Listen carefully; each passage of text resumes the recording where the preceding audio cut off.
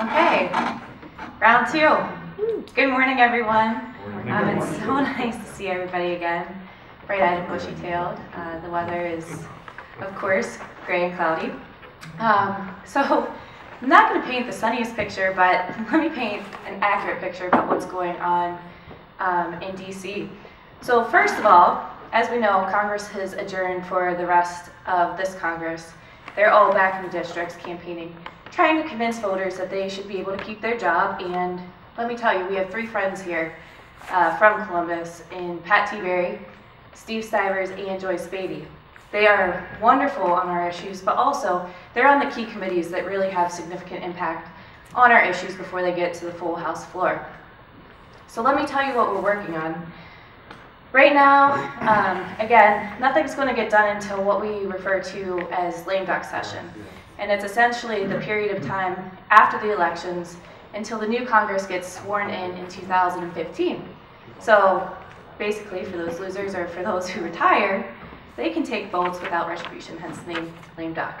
Um, we certainly think it's a very important, important part of session, though, and we have some priorities that we need to get across the finish line. Um, some of those things I will the ticking time clock things I'll hit in a second, but I just want to talk about one of the biggest priorities that we have to continue to communicate on, and that is the important issue of tax reform. Right now, real estate has some pretty preferential tax treatment, um, knowing that it's really sound public policy, that it builds communities, that it, it is a way for families of moderate means to invest in their well-being. Um, but, so the status of this is that it's unlikely to move at all in duck. We're looking at uh, the 114th Congress or beyond However, lawmakers must remember that you know, real estate plays a very vital role in not only the local but national economy. And any comprehensive tax reform legislation that they propose needs to do no harm to housing. That's the main message. Um, this Congress, though, the conversation did get started. We had some discussion drafts come out in both the House and the Senate. And it's important to note, you know, the sky is not falling today. These are discussion drafts. There are no bill numbers assigned to it. However, it is an opening mark of where this discussion begins, and it's important that we engage. There are a few um, real estate tax provisions that are in both versions of, or one or the other version of these tax reform proposals. And the biggest one, and you probably hear this from me every single time, we've been talking about protecting the mortgage interest deduction for some time. And right now in the House draft, uh, it would eliminate the mortgage interest deduction for about 95% of homeowners. Um, and again, this is, this is with the promise of lower rates. But we don't have to look too far back to sort of the hyperinflation of the market. And remember those teaser rates? Yep. So I, I like to refer to this as a teaser rate. You know, we don't want to bargain away mortgage interest deduction now for, for the promise of lower tax rates when we know that those rates can just as easily go up in a few years down the line once you know anything would be on the table. Now, it's important to know that the mortgage interest deduction is a strong middle class benefit. 75% uh, of homeowners utilize the mortgage interest deduction over the course of their mortgage. And NAR strongly, there should be nobody in this room that knows that NAR uh, strongly oppose limiting or eliminating this important tax provision. It's been in the tax code for over 100 years. Next, state and local property tax deduction. Another really important one, and this is actually uh, the one that the biggest, this is the biggest tax deduction for most homeowners.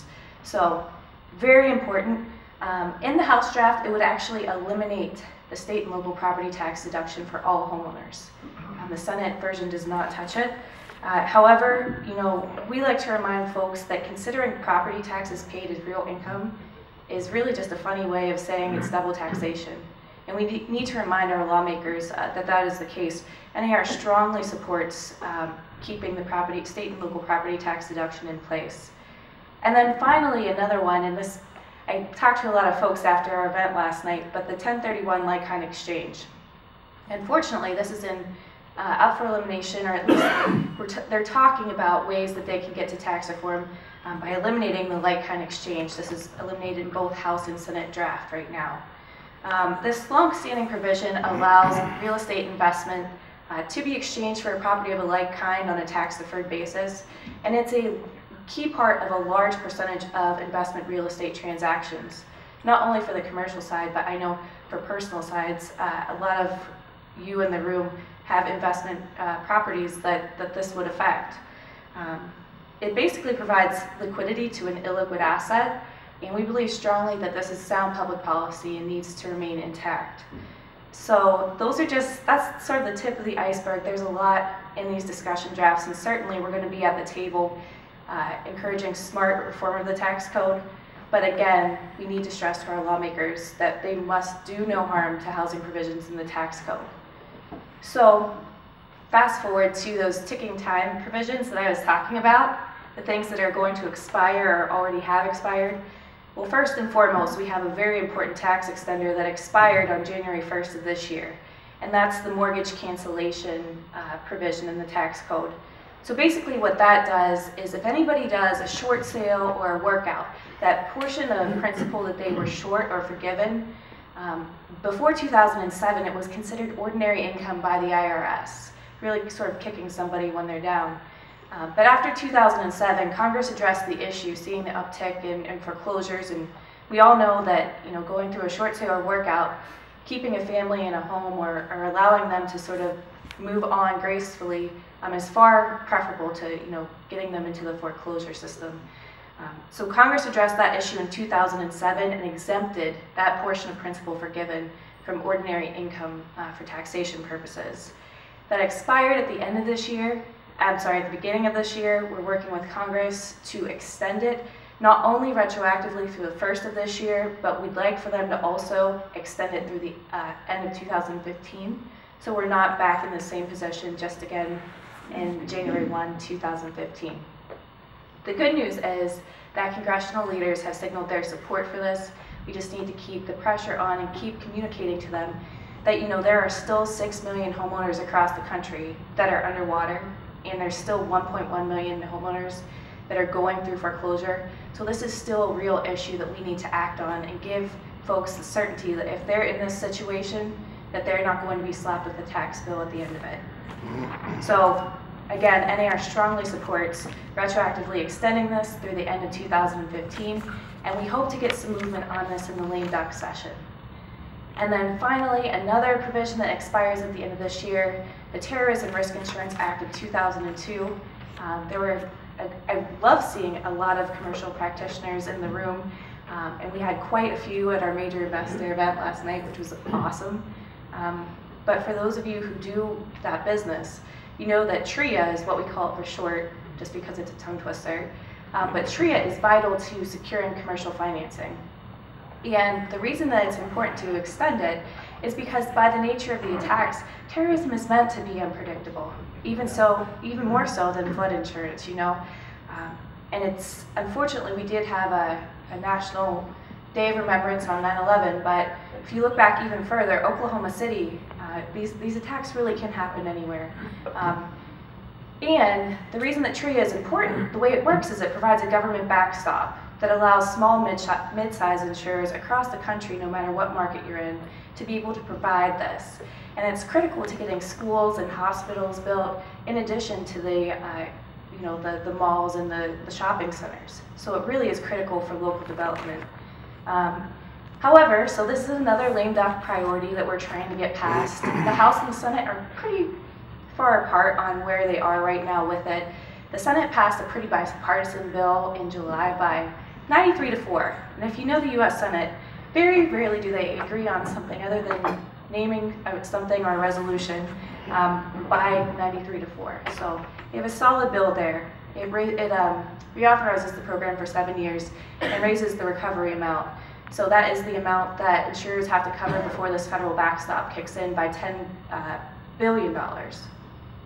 Yes, billion with a B lots of money. Um, so it does reform the program a little bit, and it provides for a long-term extension. In the House, however, they're taking a little bit of a different tack. Um, the committee passed out of committee a proposal that was on party line, um, so it's become a little, just a little more polarized over there. Um, but it, re it reauthorizes the program for five years um, and increases the trigger amount. So the amount of losses that are required from a sanctioned terrorist attack from 100 million to 500 million dollars. Um, it bifurcates the treatment of conventional I, I never thought I'd be talking about this, but conventional terrorism attacks versus New Age, so that's the nuclear, radiological, biological um, attacks. And then most importantly, the biggest concern that we probably have is it creates a, an opt-out provision for small insurers. So as we know, the reason why we like the program as it is now is because it provides um, cover for all the small, mid-sized insurers across the country to be able to provide this everywhere. And as you know, if you allow folks to opt out, um, that, that definitely diminishes the impact that the program can have nationally. So we are concerned um, with some of those little provisions in there, but the good news is that both chambers are working on it, and we're going to continue to meet with both uh, both chambers, leaders in both chambers, and we're going to try to get them to yes um, in this lame duck session on some sort of you know compromise legislation in the middle that is sound for commercial real estate.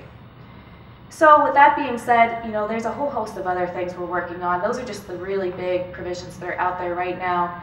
Um, we're obviously still, we have a seat at the table working on Fannie and Freddie reform. Huge, huge issue right there.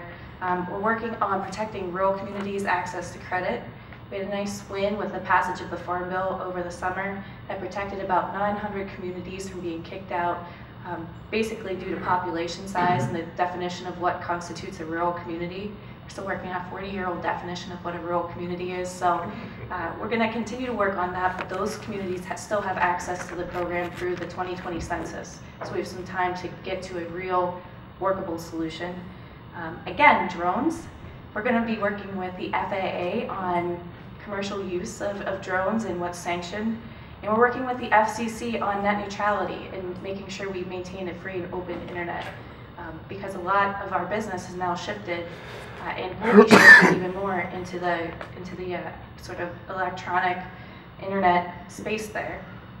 And then finally, waters of the U.S.